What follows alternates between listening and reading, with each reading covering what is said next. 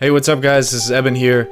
First, I just wanted to thank you all for being so patient over the past few weeks. Uh, I have not been releasing so much video content. Uh, I've been working on a lot of stuff here, including my new website, uh, which is now live, so you can check that out in the description below, um, as well as a number of commissions. And I'm actually getting ready to move soon, so lots going on here. Anyway, I just wanted to uh, shoot you guys a quick video today of a lesson I had with a student uh, in which we talked a little bit about using color contrast uh, and adjusting composition in one of his paintings. So uh, thank you to Jurgen for uh, allowing me to use this footage and, and your painting as an example. So today we're going to go over this painting. Uh, we're going to talk about how it can be improved and generally we're going to talk about what you can do in sort of that first 30 minutes to an hour to make your painting uh, really work well in terms of its overall color, its overall composition and balance, and so on. So thank you all for watching, and please subscribe to the channel if you have not already, and otherwise just enjoy the video.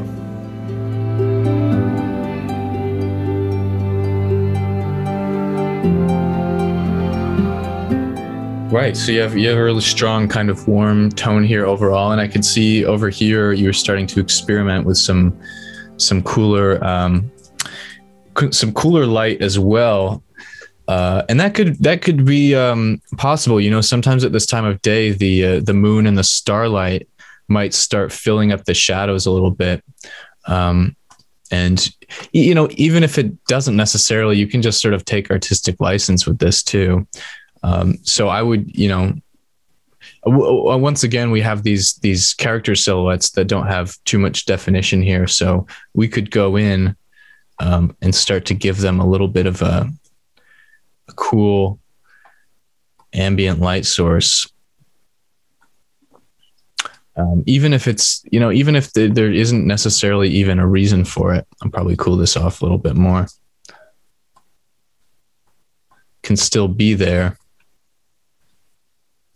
Yeah, actually, I want to go. I go much cooler with this because you already have some some nice sort of blue violet cool tones in here. So I want to build on that a little bit.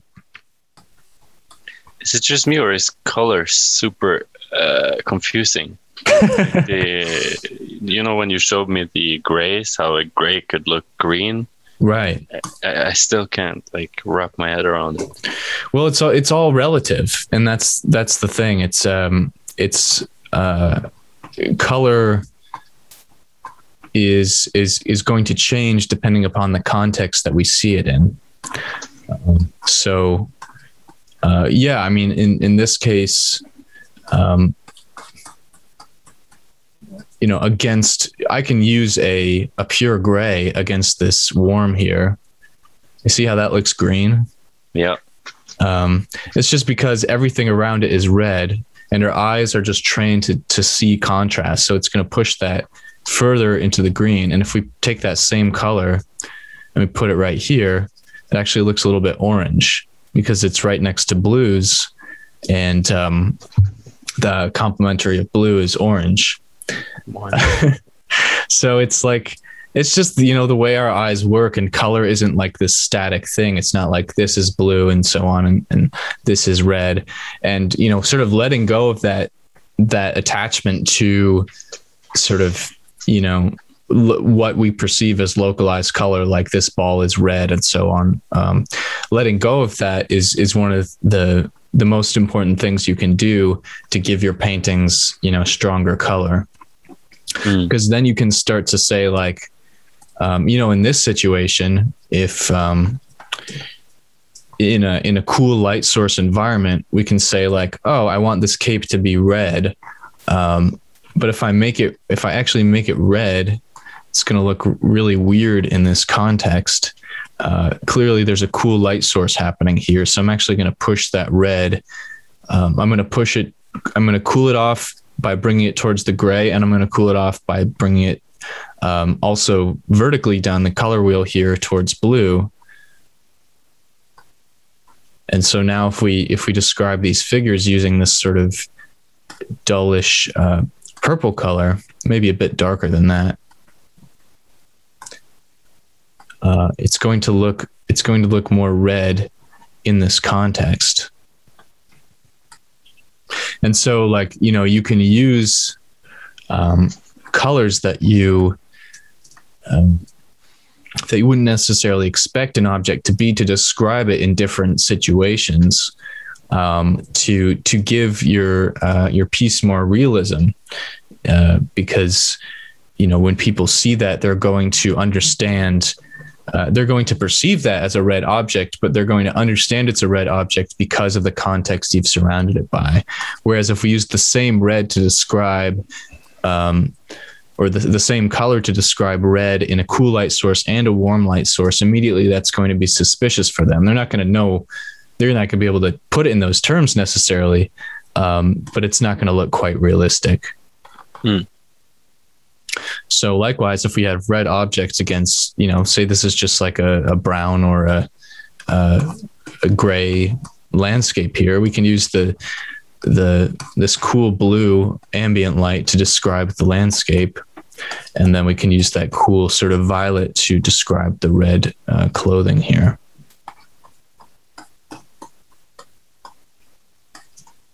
so now we have an you know a nice contrast uh, between these characters and um, and the rest of the the scenario here.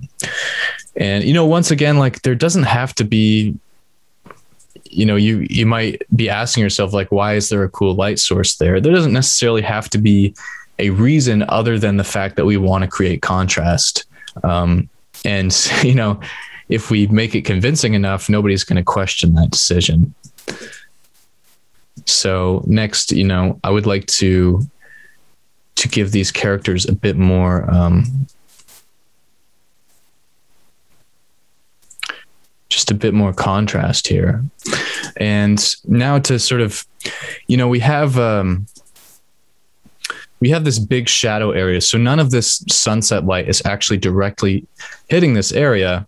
Um, now we have this ambient light from the sky, and as you have it, the whole sky is um, is basically it's it's taking on the um, the, the tones of the sunset, um, which you know is is logically totally possible. But now that now that I, I'm trying to develop this this cool contrast a little bit more, um, I'm gonna want to go in and um, and sort of modify that concept a little bit. I think I want to have a little bit more coolness around the, the edges of the sky and also in these shadow areas. I'm going to play up some some mist here, some really cool uh, mist, especially near the, the base of the mountain. So that's going to it's going to serve a couple functions. It's going to show depth, um, and it's also going to help highlight these characters a bit more. And you know, as far as as far as this, um, you know, this this patch over here, uh, I think we can just keep as a stronger silhouette. Unless there's like something that that is deliberately reflective over here, we won't need to use that um, that level of value there. We can just kind of simplify. We don't have to get rid of all the texture here, but I'm just going to simplify this whole shape. Mm. Uh, and you know, instead, what we can do here is now now we're starting to think okay towards the edge of the canvas here things are starting to cool off a little bit you know that top of the sky where it's sort of starting to transition into nighttime a little bit or you know some some of these parts of the cloud that are not being fully uh, lit by um, by that sun now that it's sinking below the horizon we're going to start to see some shadows in these clouds here maybe not quite so intense, but those shadows are going to start to take on a little bit of of coolness themselves. That's a, a little bit too strong there, but um, so we can start to imagine, even if we just hint at it on the edge of the canvas, we can now start to imagine that the um, the sky is starting to uh, to take on a bit more coolness in these areas where where the sun isn't quite reaching it. So we can continue to, de- to develop this contrast. I'm going to lower the contrast in this area down here since it's close to the edge of the canvas.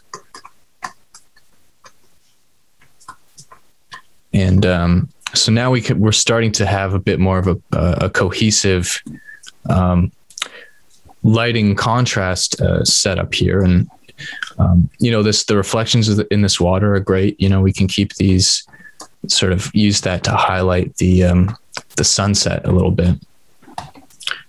Um, and then, um, you know, I think uh, as far as this whole shape here, we've got this little nub here, and that's a really interesting uh, thing, but we don't really want to have our eye. Uh, it seems like this is the main focal point here. So I'm going to actually just um, simplify this area. And, um, you know, this, this, uh, this tower here, it could be workable in this, in as part of this concept.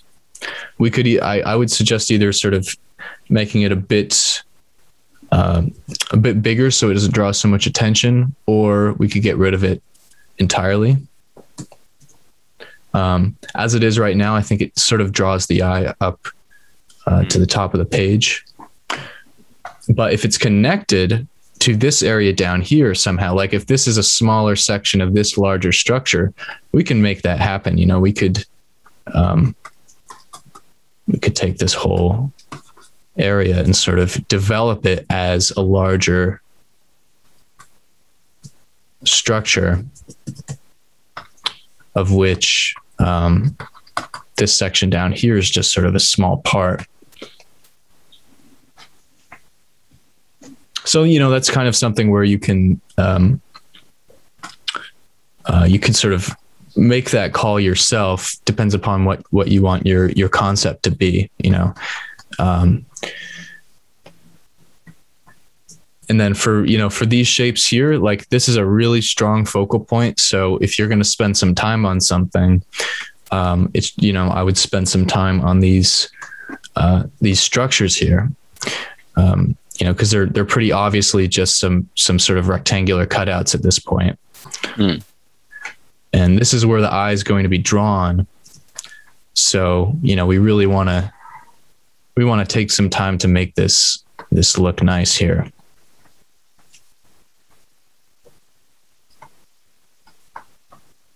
whatever whatever it is you know however you want to develop it. You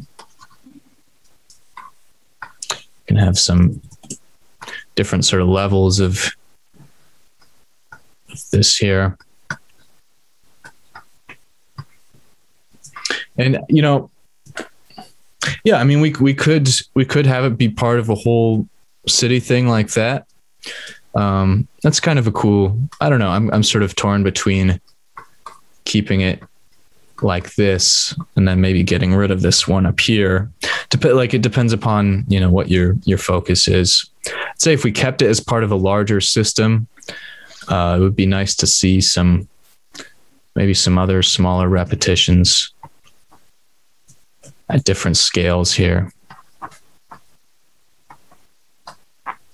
So it's kind of more of a part of a bigger city.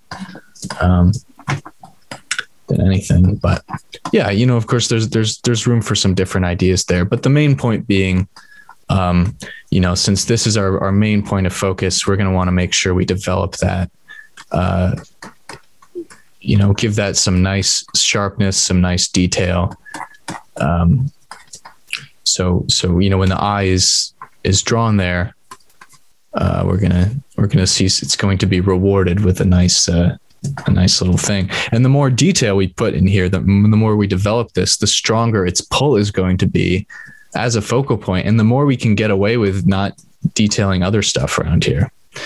Um, we could really easily just sort of leave this uh, mountain as a as a silhouette shape, or if you know if you wanted to, you could use that cool light source to create some some little suggestions of um, of detail around here.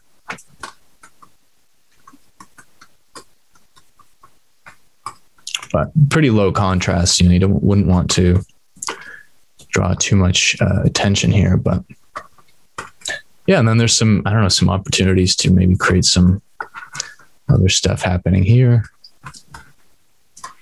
Yeah, so we've got, um, you know, we've got a nice, uh, you know, um, we have a strong focal area here with some nice sort of sharp edges and um, and we have this this contrast between this warm, warmly illuminated area, and then we have this sort of cool, more calm uh, area. And now we have a nice sort of story going between these two. I think I have a tendency to sort of like, you know, as I, I left this piece and then it's like, okay, next one, and Mhm. then sometimes I'll I'll return to pieces and then I maybe maybe I should spend more time on them, sort of come back to them a week later and then keep developing it. Right. So you're usually uh, you- are you usually just putting in like uh, you know your 30 minutes or 30 minutes to an hour on each of these or Yeah. Yeah.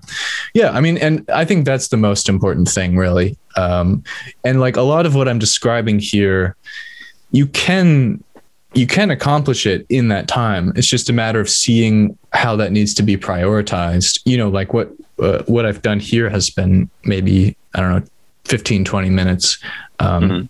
and you know if if you sort of if you kind of get these ideas sooner on in the process um it's it's not something you will have to do later on you know it's it's these are sort of bigger bigger concepts than um, going in and doing a lot of detailing. Uh, most of what i've done in terms of detailing has just been this spot here and then over here you know just those very key areas.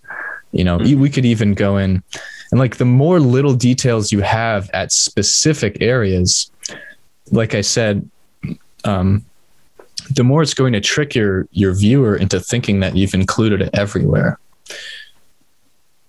Yeah. so even if, if i go in and just start creating you know tiny little castles here if i just spend five minutes on that it's going to really look like this whole piece is much more developed uh, than it actually is